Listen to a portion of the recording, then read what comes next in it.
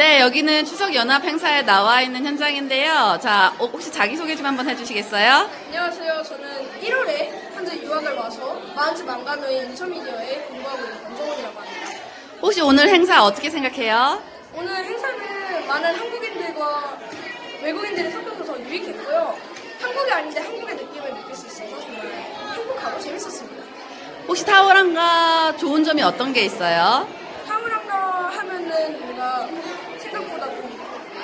차도 많을 것 같았는데 사실 차도 적고 그리고 사람들이 좀 진짜로 천천하고 그리고 인사도 되게 많이 해주시고 그래서 영어도 더 잘 늘 수 있었고 그리고 사람들이 친절, 친절하다 보니까 또 저도 마음이 되게 친절해지는 것 같았어요. 여기서 공부하는 건 어때요? 힘들진 않아요? 여기 공부하는 거는 거의 다 영어여서 힘들긴 했는데 영어가 되고 나서부터는 슬슬 풀리고 또 한국보다 다른 재미가 있어요. 경험도 많고 그리고 여기서는 많은 스포츠나 활동들도 많이 해서 정말 좋습니다. 아, 오늘 인터뷰 감사합니다.